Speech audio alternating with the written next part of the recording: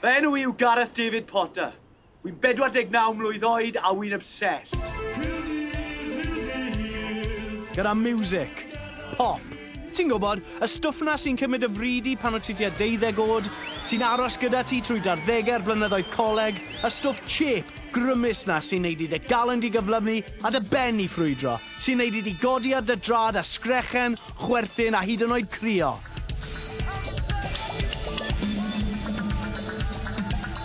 y stwff na, na ddyle ti o dan unrhyw amgylchiadau cael unrhyw beth i wneud ag e, os wyt ti dros y chwarter canrif.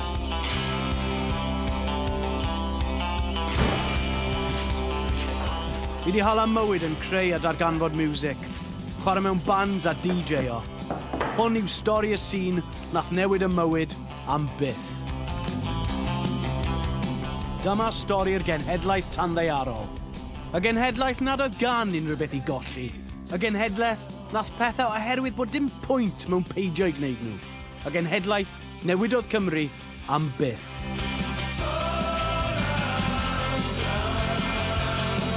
Fo hyd yn joc yn gefn y fan beth ni'n neud â chybriaeth.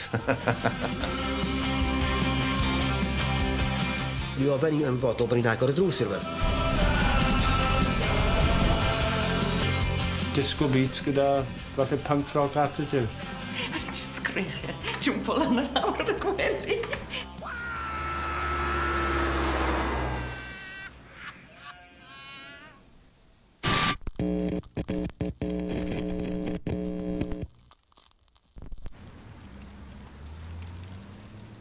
Mil naw saith naw. Fi'n punk rocker 14 mlwydd oed yn tyfu lan y mythol llwydni cymoedd y de ddwyrain. Mae Sid Vicious wedi marw Maggie Thatcher yn brif weinidog, ac mae'r Llywodraeth wedi mynd nôl ar ei addewid i sefydlu sianel Gymraeg. Mae hyder y genedl mor isel ag eriod wrth i etholwyr wrthod y syniad o ddatganoli mewn referendwm ar ddydd gwyl dewi. Mae'r dyfodol, yn dyfodol i, yn edrych yn ddi. Rai dyddiau sydd ddechrau, wedd Thatcheriaeth wrth gwrs, a oedd hwnna'n i fi yn taflu cysgod eitha di dros y wlad. Oedd be o'n i'n neud gyda lot eraill o bobl jyst yn taro nôl yn erbyn hunanoldeb oes Thatcher, lle pawb yn ddi just am ei hun. That's not, job, dim cymdeithas di ond ydy. Sa chi wedi gofyn i ni yn 79 yn Blaid Cymru, sa ni jyst i mynd, wel, da ni mewn i anarchiaeth. Sgynna ni ddim diddordeb mewn Blaid Cymru. Dwi'n deall wrth gwrs, wrth gwrs, bod datganoli yn well na canoli'r holl beth yn Llundain, wrth gwrs bod rhywun yn deall hynny. Dwi'n siŵr bod ni'n deall hynny ar y pryd. Ond nid dyna redar oedden ni'n gweithio nhw, oedden ni eisiau creu rhywbeth newydd yn Gymraeg ac yng Nghymru, felly datganoli yn eitha amherthasol. Ers y chwedegau, mae pop Cymraeg wedi bod yn greadur politicaidd. Sŵn werinaidd i gyd-fynd â phrotestiadau o bont trefechan hyd yr arfwisgiad. Ond er yr amcanion radical, chwildroadol hyd yn oed, Oedd e'n swnio'n ganol y ffordd a wel, bach yn light dent i'n glistiau bach ifanc i. O'n i'n cyrraedd ddaid, o'n i'n fan mawr, so o'n, wel, mae'n anodd peidio pam ti'n 5, 6, 7 oed oedd nhw'n really catchy ar oedd yn sylweddoli bellach ymlaen gymaint oedd nhw wedi ripio off bethau, a dim just ripio nhw off, as in plagiarism, you know, and lle dyna pan o'n i'n licio, o'n i wedi clywed nhw'n barod yn rhywle arall, probably. Oedden ni'n clywed y type of music oedden ni eisiau clywed pan oedden ni'n mynd allan, so era gigs o pethau, so jyst yn swnio chydig bach yn hen ffasiwn i ni ar y pryd, er oedden ni tu ôl i bel yn ddigwydd yn Lloegr yn hunan, so. Ie, yeah, mewn y fi'r caff! Sausage beans and chips! Pa ffordd well o cael rhywbeth mwy diddorol na mynd off a wneud rhywbeth eich hun? A os wyt ti'n methu wneud ydych hun, wel, shut up, innit? Fe ddawryddhad i mi gyda recordiau pyncaidd y llagod ffyrnig na'r trwynau coch. Ond mae'r gan sy'n tynnu pawb i ddawnsio yn y disgos ysgol yn dod o album newydd sbon gen Geraint Jarman a'r cyngeneddwyr.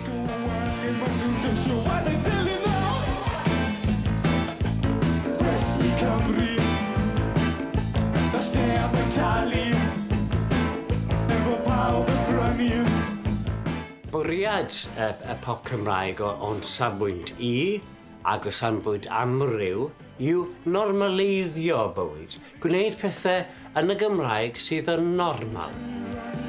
Felly bod pobl yn gallu mynd mas yn y nos ac yn gallu gweld rhywbeth safonol ac yn gallu mynd gatre, a wedyn mae hynny yn cynnyddu, mae hynny'n creu effaith, mae nhw'n siarad amdano fe. Heb os, Jarman yw godfather y sîn sy'n mynd i dyfu'n y Gymraeg yn ystod o'r 80au a blodeio cyn ddiwedd y ganrif. Rhyw, gwleidyddiaeth ac agwedd wedi lapio mewn parsel o post-punk paranoia perffaith. Dwi'n hooked.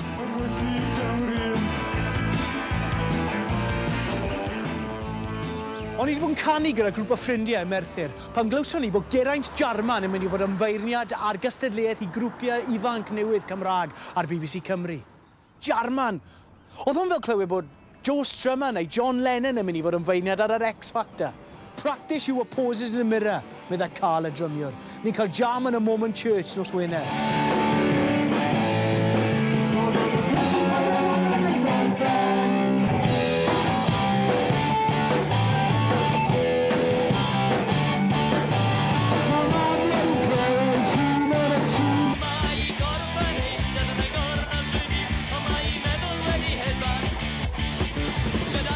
Nawr yn bendant, nathon ni ddim ffurfio'r band Clistia Cwn er mwyn newid y byd. Ond dwi'n siŵr bod y Gareth ifanc 14 oed yn sylweddoli nad oedd popeth yn iawn yng Nghymru fach. Ro'n ni'n ifanc, coci ac wedi gweld cyfle, a rhywsut fe enillodd ein agwedd y gystadleuaeth i ni. O'n i'n mynd i fod yn rockstar!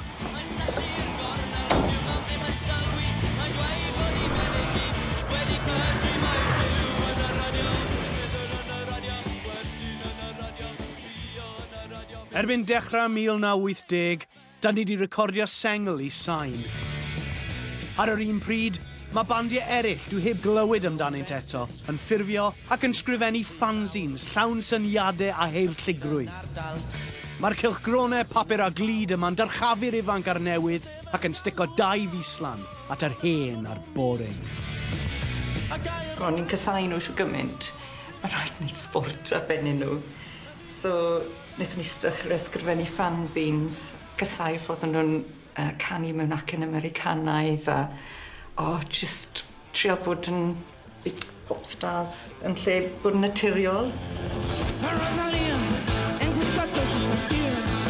Fyr hyn, caethon ni cael gwared o cysineb bod gyda ni. Oedd rhaid ni wneud rhywbeth yn bwyty fe.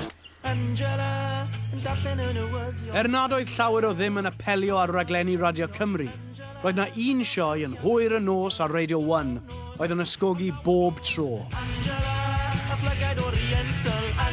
Dwi'n eistedd yn fy lloft yn Llafur Cyrenion yn clywed John Peel, here's a band from Wales called the Trini Cock, neu beth bynnag oedd yn galw nhw, Angela.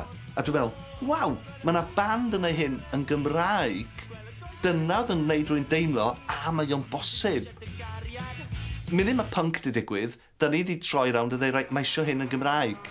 Felly, da ni wedi cychwyn ar yn taith ni, sef sgwennu fanzines, mae'n digwydd trwy John Peel.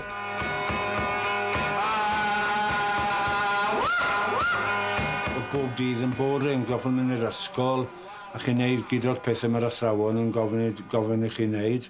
A just, chymad, just yn teimlo'n bod. A just eisiau neud rhywbeth oedd yn mynd i newid pethau gobeithio ond mae Clistia Cwn yn dal i gigio dros Gymru bob cyfle gawn ni. Ac yn yr hydref, da gwahoddiad i ni ware yn y ddawns rhyngolegol, un o gigs mwyaf calend y roc Cymraeg, yn supporto Geraint Jarman a'r cyganeddwyr. yma, yn y neuedd fawr yn Aberystwyth.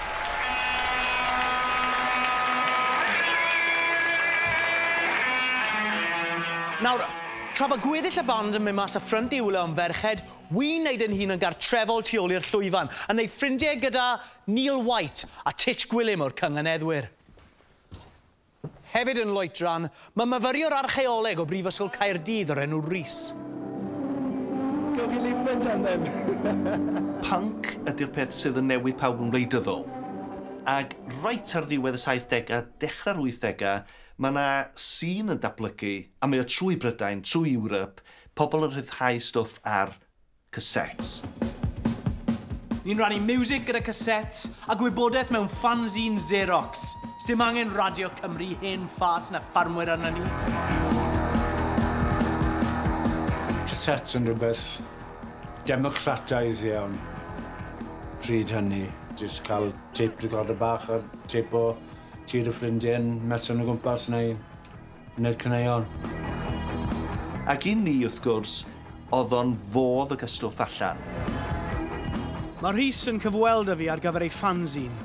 Mae'n edrych ar y sîn Gymraeg fel rhywbeth mewnblyg a sal. Mae eisiau siglo pethau o gwmpas a newid y sefyllfa. Ac mae ei frawd, Sean Sebon, wedi cychwyn band punk. Ond rhoi cyset i ni. Bingo! Ath Sean Sebon a fi na lawr i Aberteifi i gyfarfod Dave, gyswn ni gyfarfod ar y bandstand yn Aberteifi. A dyna lle nwson ni mewn prawn. Sylweddoli, mae'n well i ni weithio fo'n gilydd a creu sîn. Oedden ni gyd yn gwybod mae'r holl beth arall yn rybys, mae rhaid ni newid o. A hwnna, oedd o fel yr, um, be ni ddweud, y Magnificent Seven, Dave oedd y cyntaf yn ara bach, mae rhwydwaith yn tyfu dan redr y cyfryngau, wedi poblogeiddio gan gymeriadau difyr a heriol a profoclyd fel Rhys Mwyn. A'r cyset oedd fy mhasbod mas o ddiflastod ac ymlaen i'r dyfodol.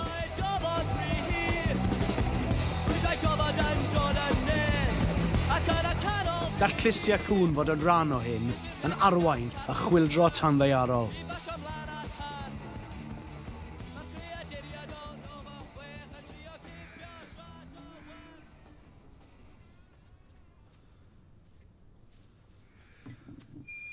Ond o fewn ychydig fisoedd, a bloody typical yng Ngyrfa Rock and Roll, roedd Clustia Cwn wedi chwalu.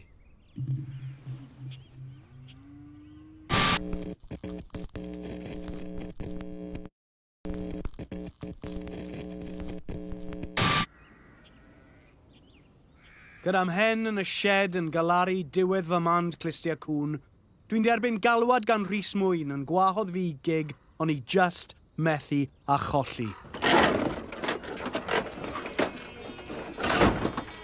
Yn llawn brwd rydedd, dwi'n ffurfio band ar brofol newydd sbon, y pri bach tew. Nawr, yn anffodus, neu bydd y rai'n gweud yn ffodus iawn i chi, mae'r tapiau i gyd wedi mynd ar goll yn nyfndiroedd amser. Gwyl, Tanddearol Cymru, yn Llanfair Cyreinion. Dyma le gynhaliwyd Gwyl Tanddearol Cymru ym 1981. Wrth gwrs, doedd y chwildro ddim ar y teledu gyfaill, ond roedd y digwyddiad siambolig yma i ffwrdd o lygaid tambaid y cyfryngau yn bwysicach i ddiwylliant Cymru nag unrhyw gig arall y gynhaliwyd o flwyddyn yna.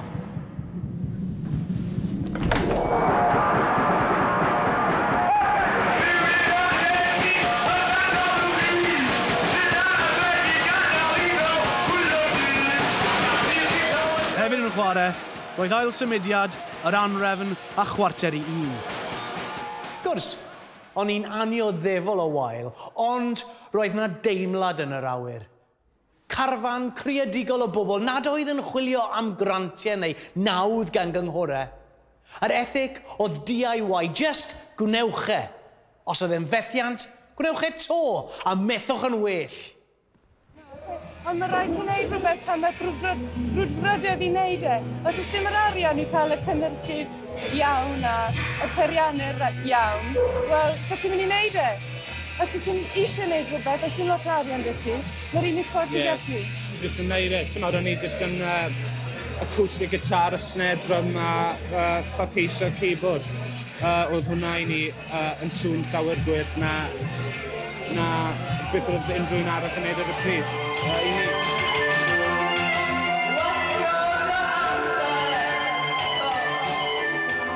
mae rhaid ti greu digwyddiadau.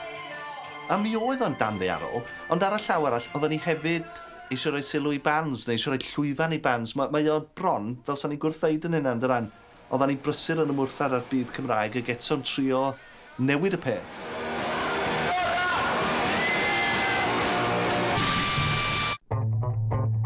pob bore ar y bws i'r ysgol, byddwn ni'n eistedd drws nesau i Mark Lug. Ni oedd yr unig rai oedd yn siarad Cymraeg ar y bws, a fydden ni'n siarad am fiwsig a phwy oedd a John Peel nithwr.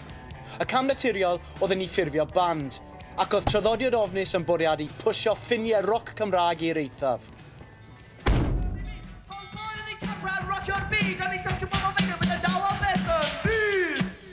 Prif bwrpas ni oedd chwalu'r hen system a roed rhywbeth mwy, lot mwy diddorol a synllid yn ei le. O'n i jyst i cael llon bol o'r crap cyddoriaeth Cymraeg oedd yn hongio yn y gwmpas ers 70au.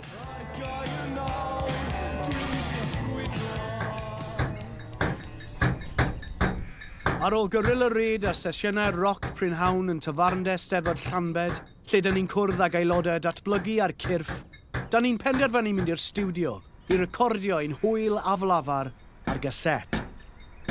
Just offering am ddim. Na'r peth gorau am uh, Trylwyr Ofnus, nath i cychwyn fan i, oedd dim blydi arian e dyn ni am unrhyw offer yna, so nath i mynd a meddwl, right, lle mae pethau chip, scrapyards, eri mas i scrapyards. Waw, gen ti loads o bethau mewn scrapyards am bugger all o arian, a mae hynny'n neud sŵn amazing.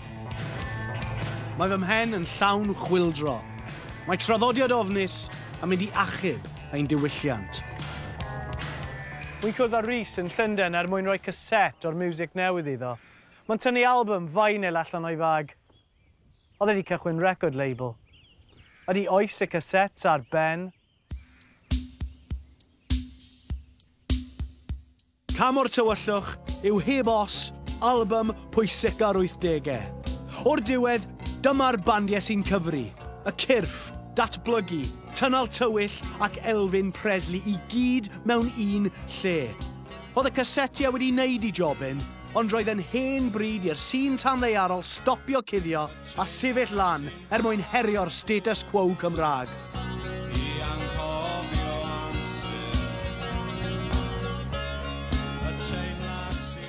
Diwedd 1984, o'n i'n mynd i wneud single ar y cyd gyda'r andrefn. Ond oedd bands fel Tynnel Tywyll a'r Cyrff Elfyn Presley wedi, a Machlid wedi ffurfio erbyn hyn. O syniad o, o fod yn single gyda ni yr andrem, troedd mewn i 12-inch LP.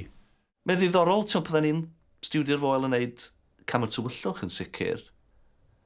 Dwi'n meddwl bod pawb yn fan yna yn deall beth ydyn ni'n neud. O hwnna'n gyfnod da yn y studio yna. Dwi'n cofio ni cael y 12-inch vinyls yn ôl am y tro cyntaf a ti'n rhoi dy needle ar y grŵf, a ti'n teimlo, ni fel y Beatles, ni fel uh, y Fall, ni fel y Rolling Stones, beth bynnag, ni fel Joy Division, New Order, neu beth bynnag, ni, ni lanna gyda nhw nawr. Ella na hwnna di'r teimlad gorau gyd rhywbeth ti di sgwennu jyst ar darn o feinol, dwi'n gwybod diom digwydd fel o'n, ond pan ti'n gael hwnna adra, dwi'n bod, dwi'n meddwl, ni jyst yn sterio fo arno fo am oriau, jyst yn,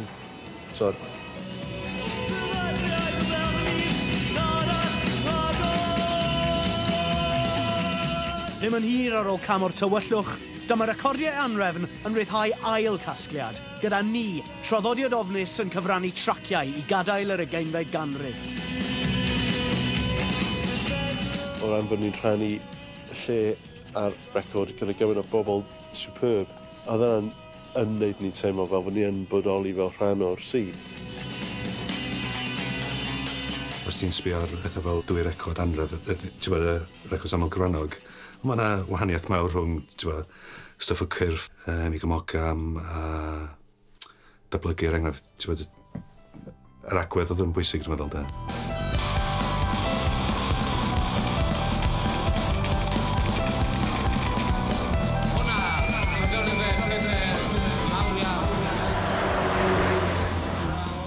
O'n i'n gwrando John Peel, a nath e gweud, it's datblygu. sgreichie jwmpo lan yr awr ar y gwely. Teimlo David Lamb.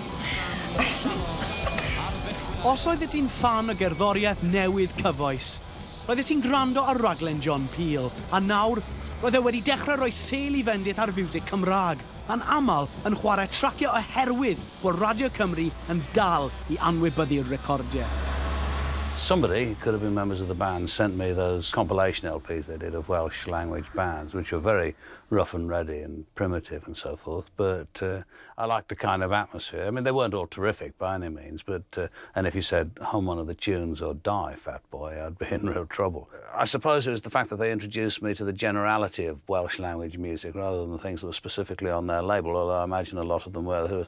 Kiff and and uh, Dat Bluggy, who I liked a lot and uh, who, who did some sessions for the programs which were really good. Nath Rhys, tymod, he went straight for the jugular look. Ath y lan i John Peel a gweud, mae rhaid i chi gwrando ar ni a yr andrem. So gath yr andrem sessions, a gath ni sessions, a wedyn oedd y drws agored i pawb. And the rest is history, anyway.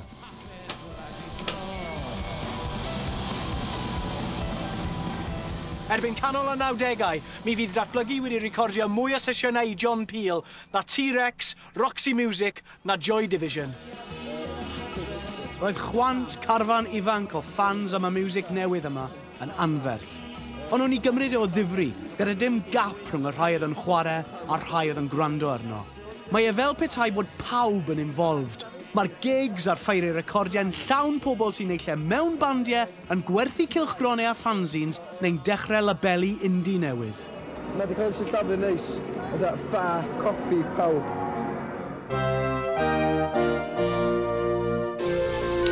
Yn 82, oherwydd protestiadau Cymdeithas yr Iaith a bygythiad gan Gwynfor Evans i ymprydio, mae sianel Gymraeg S4C wedi dechrau darlledu. Ond erbyn 87, Mae'r godfather, Geraint Jarman, wedi symud i fyd tyledu. Mae ei gwmni cynhyrchu, Criw Byw a'i rhaglen fideo naw yn gwedd newid a ffordd mae pop yn cael ei drin ar S4C. Nes i rhoi gorau i gani a nes i just edrych ar beth oedd yn digwydd a gweld beth, beth, beth allwn ni wneud nawr. Unwaith ydych chi'n dechrau lle deun i'ch gorwelion, ydych chi'n chi gweld a mae pethau'n dod a pham ddaeth hi yn nos, e fe a alwodd ato y boys. Gyda chyflwynydd siarp unigryw fel Eddie Ladd, roedd y sioe yn essential fywyn. Ond a oedd fideo naw wedi dechrau cynnal a chreu y sîn yn hytrach na jesti adlewyrchu. Glywys i fe gan bobl, dwi'n meddwl. O'n nhw'n becso mai, ai ond fideo nawdd yn cadw'r sîn i fynd. Um, a wrth gwrs, bys y fideo naw yn dadlu, nage, nage, nage, mae'r sîn yn bod y beth yn i ond yn adlewyrchu'r sîn. Ond unwaith mae yna gamra yn y stafell, mae fe'n ma fe'n creu ffocws ar sîn a chi'n dechrau creu rhywbeth ar ei gyfer. E. No, mae'r rhaglen yna'n gyfrifol am o, lot o be na ddod wedyn, really, oedd o'n kind of meithrynfa i, i bands a cyfle i bands mynd i fatha studio mawr, proffesiynol. Allan o hynny, gys di Gorkies, i Pawb, uh, Catatonia, so, um, Cwyth o bands di, di, neud, di gael ei helpu gan just gael uh, experience yna.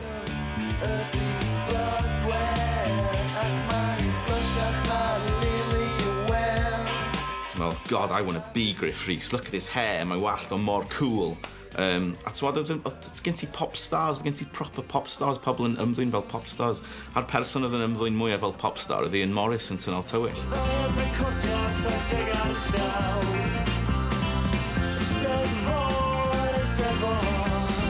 well, he is the best frontman ever. A bod merched yn just sgrechian dros fo. A boys, I suppose. Roedd fideo naw yn cymryd again hedlaeth newydd o ddifri. Cawsom ein talu'n deg a chael mynd i studios recordio dechrau. Be dwi'n gael o'n financial irrigation. Ti'n mae'n rhywbeth sydd yn dod heb unrhyw fath o bwysau moesol. Dys i'n rhaid i wneud un byd penodol efo'r pres. Ys ti'n gwneud o i brynu offer neu ti eisiau defnyddio fe i recordio rhywbeth, mae'n bosib i ti wneud hynna hefyd. Dwi'n gwneud mwy o bres mewn un gig teli nes ydych chi'n gwneud ar paper round trwy'r haf, sy'n dod.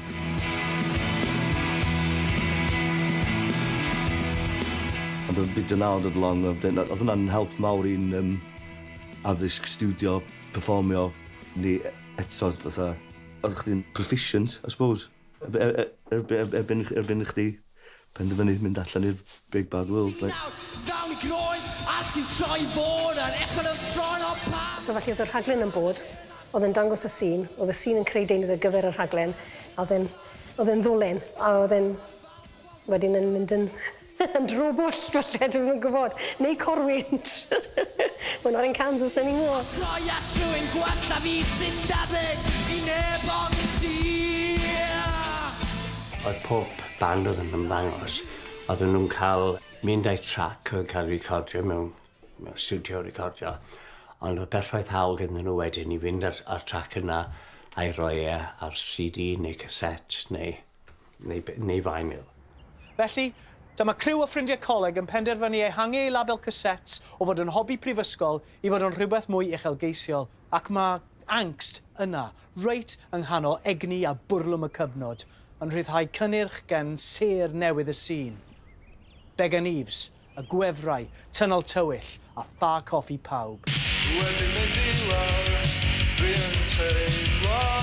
Gychwynno am laff i radde. Gychwynno fel hobi ac i radda mi oedd fel mi oedd fel caseg eira, mi gychwynnodd o, mi gychwynnodd o, a mi gatho ni fwy fandia, a ni fwy cyffroes, a mi byddwn ni gallu gyflawni A wedyn, athyn ni benderfynu pethau gael job go iawn, a nathon ni'n stopio. Dyna ddim genre, um, mudiad fel genre, nag oedd yn fwy o mudiad fel sydd fel attitude. Sydd sy'n broblem iachach, ti'n dweud?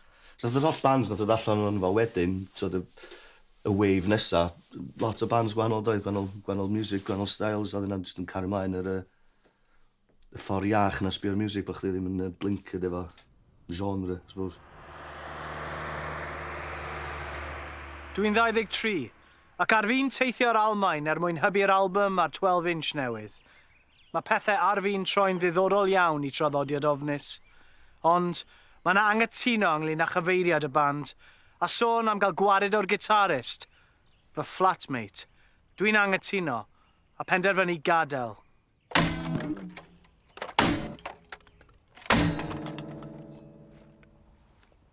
roedd hwn yn dechrau mynd yn habit.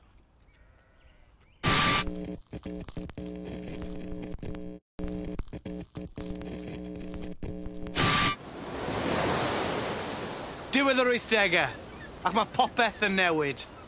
Gwleidyddiaeth, technoleg, cyfathrebu, cyffuriau, cerddoriaeth. Mae'r dyfodol wedi cyrraedd. Beth yw'r stwff sy'n allan ono ddo? O, ryw asid neu rhywbeth. Asid ar argol, nid os oedd cassette wedi galluogi ni dyfu'n dan ddearol a vinyl wedi lledaenu'r neges, y cam nesaf oedd camu mewn i'r oes ddigidol a chyfleidio'r chwildro newydd. Roeddwn ni'n byw Manchester ar yr holl reif sy'n an yn hygoel o um, dylanwad ar pawb sy'n gweld yr uh, sy'n bob dim newid. Os Chdi roi dance beat dros swn i'n jan car a ddeg yna. Oedd yn chwildro doedd. Dwi'n dwi'n meddwl sy'n bynnag yn byd wedi bod fel yna ers, ers fa, really. I suppose punk oedd yr un cyn yna. O'n i wedi dechrau recordio fel pop negatif wastad mewn studio yn Ynys Môn, gydag esill o'r crisialau plastig. Roeddem ni am greu pop nas glywyd ei debyg i'r ioed o'r blaen yn y Gymraeg. Pop fodern, gyda gwreiddiau tanddaearol iawn, mae fe'n iawn, mae fe wastad yn iawn. Ond erbyn i'r label Central Slate ryddhau'r record yn awst 1989, Roeddem ni wedi ffarwelio'n gilydd, heb chwarae'r un sioe fyw, ac roedd pop negatif wastad yn gorwedd yn gelain ar draeth Rosneigwyr.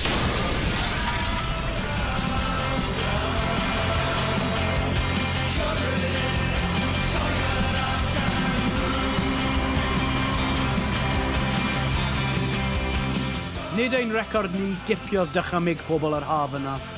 Aeth yr anrhydedd yna i'r cyrff.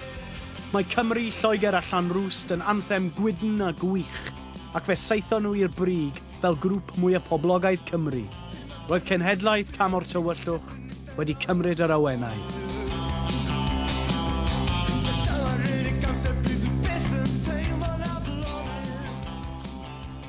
Er y setbacks personol, Dwi ddim yn barod i stopio. Dwi wedi teithio'n rhy bell, a dwi'n obsessed.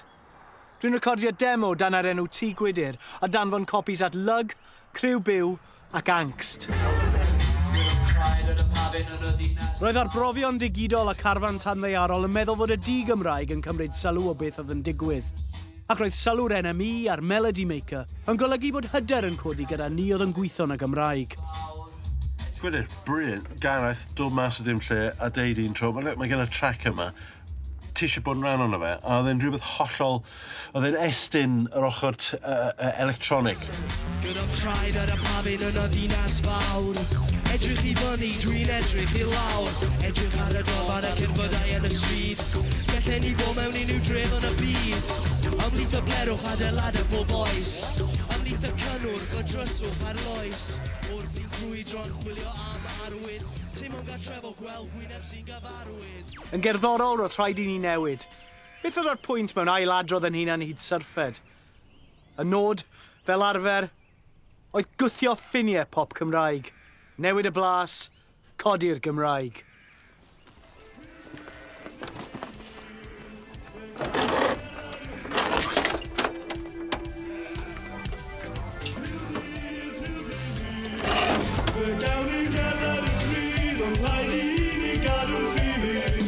Gyda'ch am strob, peiriant mwg a pharodd ex, roedd hi'n bosib troi neuad pentre, clwb rygbi, stafell gefn pub neu shed mewn cae yn glwb nos dros dro. I fi a lyg, roedd hwn yn estyniad o agwedd DIY punk a cherddoriaeth techno yn ymgorfforiad o wyneb newydd y tanddaearol. ac i brofi fo mwy i'r holl symudiad na cherddoriaeth yn unig, dyma charfan o berfformwyr a chefnogwyr yn dod at ei gilydd er mwyn estyn cefnogaeth at weithredoedd gwleidyddol Cymdeithas yr Iaith. Yn ogystal â'r rhedeg angst, roedd Alun Llwyd yn gydeirydd Cymdeithas yr Iaith, ac, oherwydd ei gweithred fel rhan o ymgyrch deddf eiddo, fe garcharwyd ef a Branwen Nicholas i flwyddyn o garchar. Oedd y cyfnod carchar a'r cyfnod o weithgaredd y Cymdeithas yr Iaith cyn hynna yn rhywbeth oedd yn... Oedd y penderfyniad yn mynd i garchar yn rhywbeth oedd ni gymryd yn ofalus ac o rai fi ymgynghori efo Emyr Griffith amdano fe i raddau, achos oedd yn golygu o'n i'n gwybod sy'n ni'n gallu mynd i ffwr o'n waith am 3 mis, 6 mis, blwyddyn, beth bynnag fyswn ni'n gael.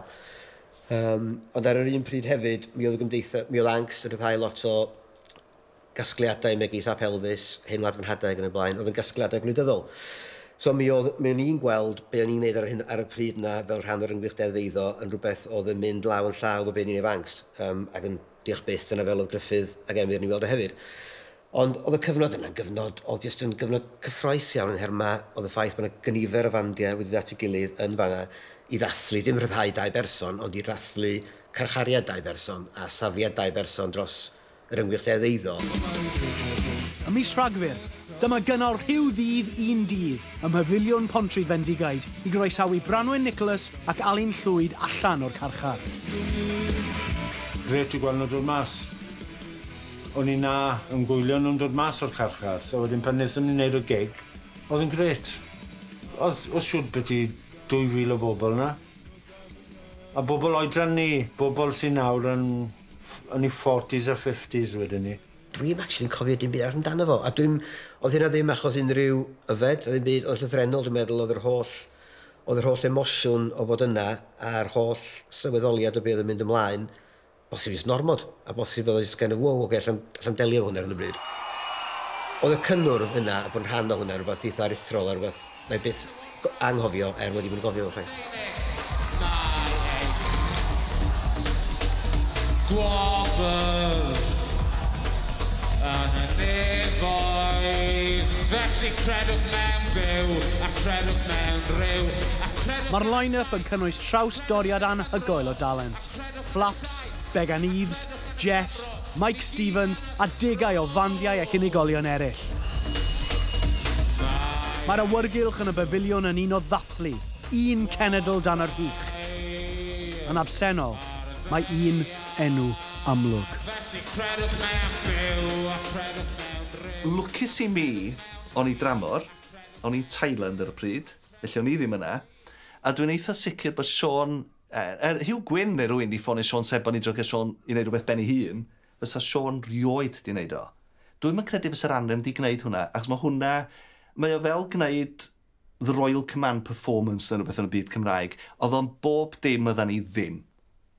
Ynde? Ac i mi, ti'n gweld, be sydd yn digwydd erbyn y pwynt yna, ydy, be ni'n arfer alw, dwi dal yn, be, Mutual Appreciation Society yn un alw. A dyna, fydda i'n weld efo angst, munud maen nhw i mewn, mae o gyd yn ymwneud â, da ni gyd yn ffrindiau, da ni gyd yn licio'n gilydd, da ni gyd yn mynd i gigs yn gilydd, da ni'n prif grŵp yn ysteddfod. A does a e ddim mwy ddyma na hynny ar Gymraeg ti gael un band y rwle sydd ddim yn rhan o'r bybl Cymraeg, sydd ddim yn rhan o cymdeithas yr iaith neu rhywbeth, neu fel arall mae pawb yn neud rhywun peth. Yn dydi? Am refn ei bido, fe brofodd rhyw ddydd un dydd bod yna ddigon o bobl i gynnal dathliadau mawr iawn ar y sîn. Joiodd e mewn i un o ddiwrnodau mwyaf cofiadwy yn hanes pop Cymraeg.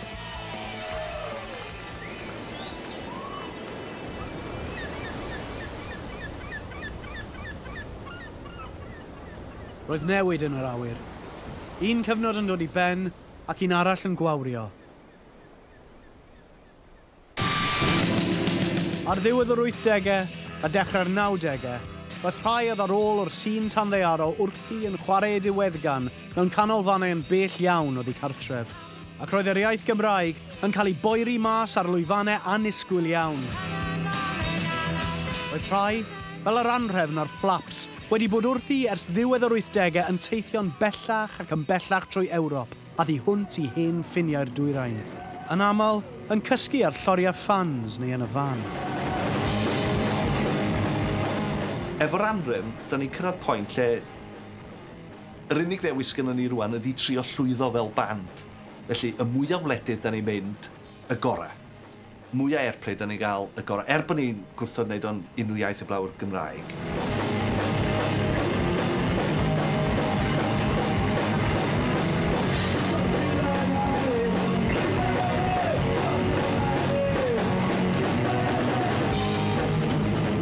Nes i drio mynd i coleg am ffeilio miserably, um, cwitio cwpl o weithiau a enderfynu mynd ar tor y fanren am dwy mlynedd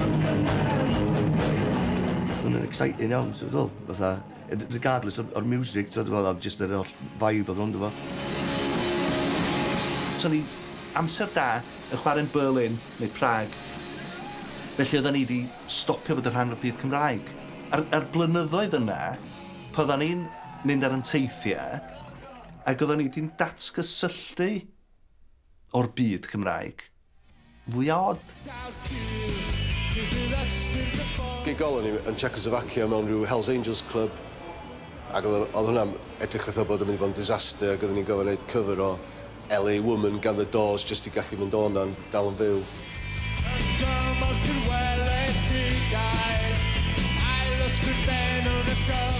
Mynd yn ôl at... Uh, Dwi'n meddwl, o'n i jyst yn chwarae'r un un llefydd a o jyst yn teimlo ar y pryd bod yn uncharach i fynd tywod, um, drwy ganu'n Cymraeg, cos yn ystod y cyrff oedden ni roed i meddwl am ganu'n Saesneg.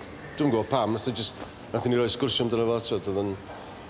Um, Mi'n siŵr oedd o'n teimlo wrong i wneud hynny, so... Uh, oedd o'n teimlo fel yr amser iawn i stopio rili. Fe ddaeth y cyrff, ffac off i pawb, ar anrefn ac amryw o fandiad a gwreiddiau tanddearol i ddiwedd digon naturiol.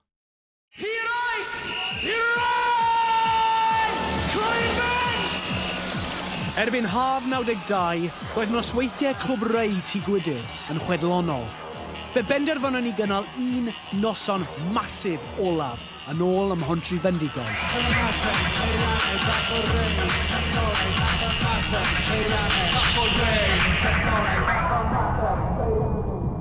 Dwi'n sefyll ar ochr y llwyfan yn DJ-o. Mae'r dorf yn mynd yn mental. Mae Dave datblygu'n rhoi coflaid masif i mi. Ni greodd hwn, medda fe. Dyma'n amser ni, yma, nawr.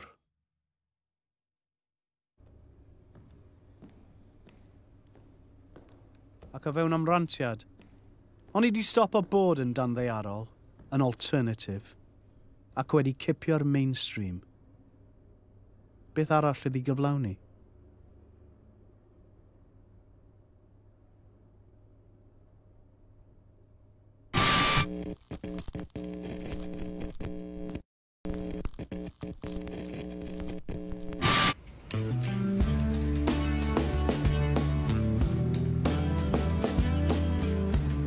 Dwi'n ôl yng Nghaerdydd fel nifer o gerddorion eraill y sîn. Ac allan o lwch yr hen, mae cerddoriaeth newydd, y derys ar fi'n torri.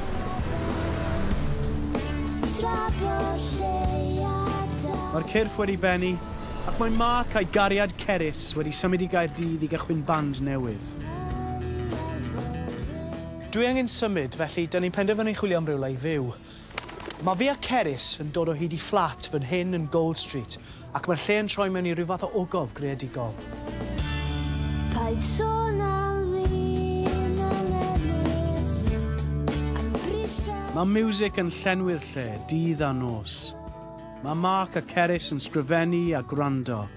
Stone Roses, Bob Dylan, The Beatles, daw cerddorion, artistiaid ac actorion rhawn jyst i hongion mas a ware bacam yna smocio. Rwy'n ni'n dlawd, ond mor gyfoethog. Ar ochr arall y dre, mae Griff Rhys a Dafydd Ieian yn cychwyn prosiect newydd i ddilyn ffa coffi pawb – Mae pawb yn gwario'r penwythnosau yn y City Arms a chlwb ifo'r bach. Mae Caerdydd ar dan. Wi nôl yn y fflat am y tro cyntaf ers dros i gymlynedd, a mae sbrydion y gorffennol yn dal i grwydro'r lle. Fan hyn oedd yn stafell i, a tu ôl i mi, mae stafell Mark a Ceris. Oedd gyda nhw gitars a amps yn set i fyny yn y stafell yma. Yn hwyr yn y nos, dyma ni gyd yn eistedd rownd yn chwarae tracks newydd i'n gilydd, stwff Catatonia a datblygu'n swnio'n wych. Dyma fi'n rhoi cwbl o dracs newydd gan Tŷ Gwydyr ar y stereo.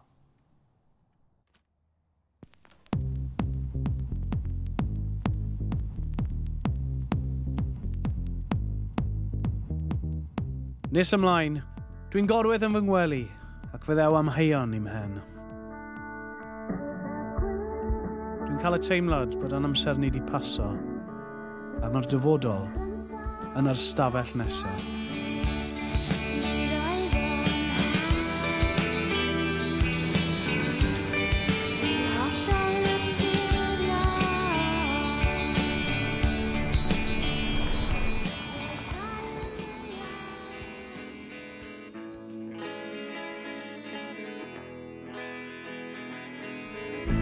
With the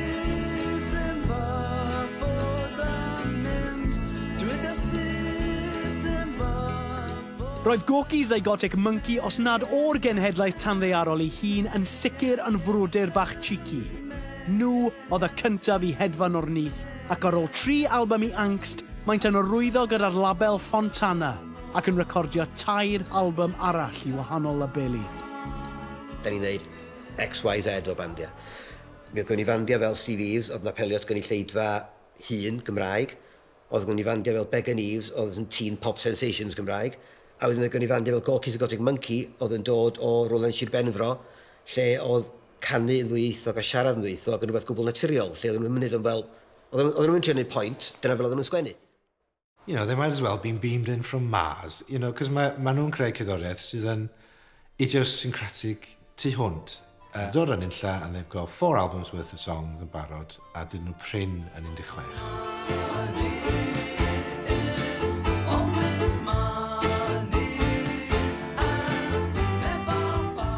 trafod gorkys yn concro'r dwyrain pell, yn ôl yng Nghymru, roedd rhywbeth yn digwydd yng Nghas Newydd mewn clwb bach dingy o'r enw TJs. Wedi sbarduno gan llwyddiant am Manic Street Preachers, roedd ton newydd o fandiau di-Gymraeg yn llifo mas o gymoedd diwydiannol y De Ddwyrain ac yn ennill sylw a chlod y papurau othnosol yn Llundain. Fe gwiriodd cyfuniad y bandiau dath o'r sîn tanddearol Cymraeg a rhaini o sîn Indi'r cymoedd grym oedd yn amhosib ei anwybyddu. Y mae newid yn dychryn rhai pobl. Ac mae chwarae'r un gynulleidfaoedd dro ar ôl tro ar ôl tro yn gallu mynd yn ddiflas i'r bandiau ac i'r gynulleidfaoedd. Weithiau, mae angen gwneud pethau. Pethau gwahanol. Pethau newydd mi oedden ni ymwybodol bod ni'n agor y drws i'r rhywbeth. Ond oedden ni hefyd yn gwybod, wel, da ni'n agor drws sydd yn mynd i agor pryd bynnag, achos yn y pen draw, be oedd gynnon ni oedd cenhedlaeth o gerddorion oedd yn wirioneddol dalentog, oedd yn wirioneddol a gweledigaeth byd eang, ac oedd yn wirioneddol beth i'ch byth eisiau gwneud bywoliaeth allan o'r beth. Ac yn amlwg, doedd wneud bywoliaeth ddim yn opsiwn os oedden nhw'n parhau i ganu Gymraeg, parhau fewn Gymru. A hyd yn oed canu Gymraeg a ganu tu allan i Gymru ddim yn gallu gwneud bywoliaeth chwaith dyna bryd yn dechrau sylweddoli hefyd bod rhaid neud pethau fel cwitio hwnna i gyd, cwitio'r anem, cwitio ffac off because yn gwybod bod angen neud rhywbeth arall. So. A i Super Furries, fatha, doedd angen dechrau rhywbeth arall a gwynebu'r ffaith bod rhaid ni ganu'n Saesneg os oedden ni eisiau gwneud bywoliaeth call allan hwn, so dal a gweld mwy o'r byd. Ond mi, mi nath yn gadael ni'n anghyffyrddus. Yndi, mae hynna'n dos am gwadu hynna. Ac yn amlwg am flynyddoedd ar ôl hynna, oedd rhywun yn trio meddwl, wel, nath hwnna cael dylanwad cryf, positif, gwael, achos mae yna modd dadla bod be nath golci a super animals yn y blaen wedi ysbrydoli cenedlaeth bobl. Mae yna modd dadla bod be nath nhw wedi gwneud i bobl feddwl mae'n eich gan y Saesneg i lwyddo. Pwy awyr? A dwi'n meddwl mae'r cyfuniad yn y pen draw realistig ydy mi nath super animals a golcis barhau gan un y ddwyiaith. A mi athyn nhw'r ddwyiaith yna'n fyd eang. A dwi'n meddwl bod modd gofyn i neb am fwy na hynna. She smashed the y ffaith o'n i yng California yn darllen erthygol yn Rolling Stone ambyti cas newydd ac ambyti sort of band rhyfedd ma o'r enw Gorky's Agonic Monkey fatha. Um, ond eto yng Nghymru, o'n i ddim yn gallu wneud i gerddoriaeth ei hunan yn y ffordd oedd yn cael y sylw tu allan. Dwi'n e- Edrych yn ôl, mae'n just yn gil, y ffordd really, really cil o feddwl am um, gadw pobl mewn rhywbeth o box. Fi ddim yn deall beth oedd pwrpas hynny. Achos ar un lefel, o'n nhw'n hysbysebu y Gymraeg tramor.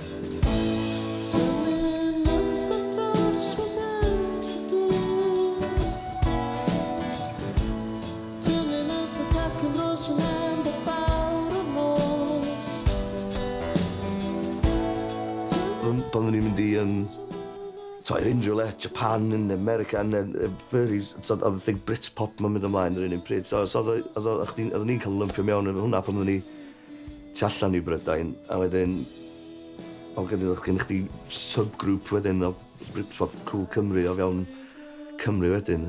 Oedd o helpu lot o bands, paid cofio rong, so oedd band Cymraeg ar y bryd yn band Cymraeg yn cael ei trin yn fatha chdi unrhyw le arall, na dim, dim just yn chi'n sheepshagger, ti'n meddwl, boiw, yn jens, ti'n Efallai bod Cwl Cymru yn derm dyfeisiwyd gan newydd a dirwyr, ond fe ddigwyddodd. Doedd dim pawb ar y bws, ond fe gyfrannodd at ein hyder newydd fel cenedl.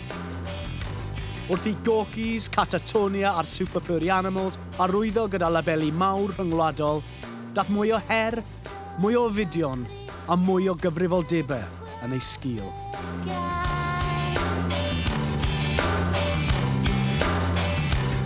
Athyn ni'n gwneud tŵr um, yn America, a dod yn ôl a chwarae mewn festival, dwi'n Glastonbury dwi'n meddwl, dda.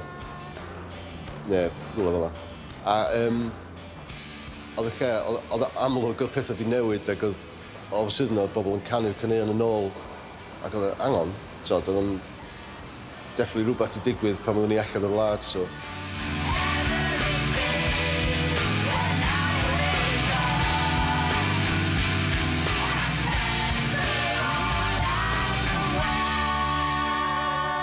fe brofodd y sîn a dyfodd o fudiad tanddearol recordiau anrefn yn dir ffrwythlon iawn i feddu ser wirioneddol Gymreig, fel Ceris, Griff ac Eiros.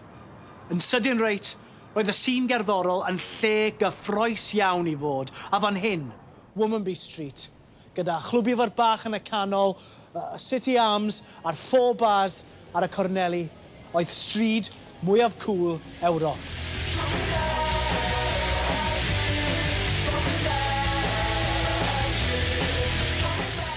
So what os oedd John ac Alun yn dal i brefi a, a Sobin yn dal i ddenu'r miloedd a'r moniards yn dal i sefyll reit ar ganol y ffordd? Roedd pwynt anferth wedi cael ei wneud. Ni, y genhedlaeth danddearol, oedd yn diffinio Cymru nawr. Ni oedd ar glawr yr NME. Ni oedd ar lwyfannau Glastonbury a ni oedd yn cael ei ddarlledu a donfeddi radio'r byd am ei bod ni yn gwybod ei bod ni gystal ag unrhyw un arall ac fe daniodd hwnna rhywbeth anferth yng nghalonau'r Cymru ifanc o ba bynnag cefndir. A troi switch ymlaen yn fynd, oedd yn dweud ie ar lefel bersonol iawn. A falle, i bod nhw'n teimlo bod nhw'n perthyn i rhywbeth. Our new Wales and our vision of a bright and new future. Fel cenhedlaeth, fe ni mas o'n ffordd i greu heb nawdd gan gyngor neu lywodraeth sy'n oedd yn mynegu ein egni aflonydd. Diwylliant answyddogol cynhwysfawr oedd yn ymestyn tu allan a thu hwnt i ffiniau ieithyddol a chenedlaethol. A thrwy gwneud hynny, drwy dorri mas o'r mewnblygrwydd amrannol oedd yn tagu eto hun, fe ddargan fyddwn ni ein llais, ac fe ddethon ni at ein gilydd just digon i wneud gwahaniaeth.